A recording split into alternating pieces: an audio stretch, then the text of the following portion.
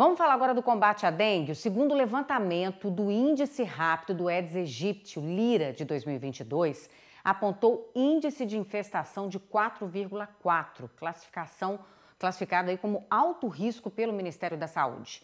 O levantamento foi realizado pela Secretaria de Saúde da Prefeitura de Juiz de Fora entre os meses de abril e maio. Mesmo com esse resultado, o número de casos confirmados de arboviroses urbanas, como dengue, zika e chikungunya, em Juiz de Fora, é considerado baixo, tendo em vista aí a situação epidemiológica do país, que atinge mais de 95% dos municípios brasileiros.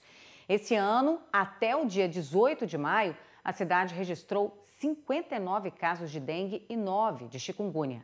A prefeitura informou que faz um trabalho com os agentes aí de combate às endemias.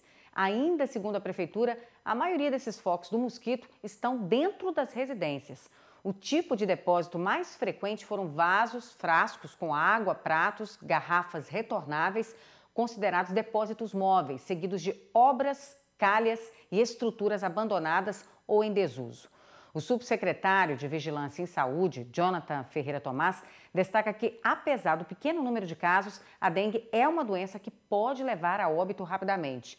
Em caso de sintomas como febre de 2 a 7 dias, acompanhada de dores de cabeça, nos olhos, no corpo e também aí nas articulações, além da prostração, fraqueza e manchas vermelhas pela pele, procure imediatamente uma unidade de saúde, ou seja, o poder público fazendo a parte dele, você também pode fazer a sua, tirando 10 minutos para verificar aí os possíveis focos de dengue na sua casa.